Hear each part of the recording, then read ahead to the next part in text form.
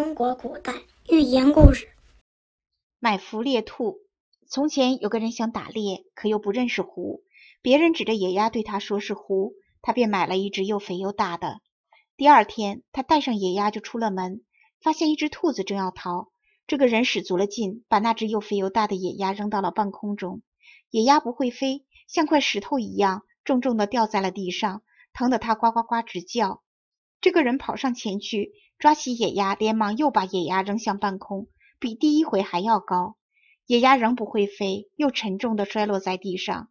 就这样一直扔了三四回，野鸭被摔得半死不活。忽然从地上站起来，用人的话说：“我是野鸭子呀，你为什么把我这样扔到天上，又摔在地下？杀了我吃我的肉，是你们人类的权利呀！”这个人顿时傻了眼，把福当作狐。硬要他飞起来去抓兔子，违背了客观规律，闹出了天大的笑话。然而现实生活中这样的事还是屡见不鲜，岂不可悲？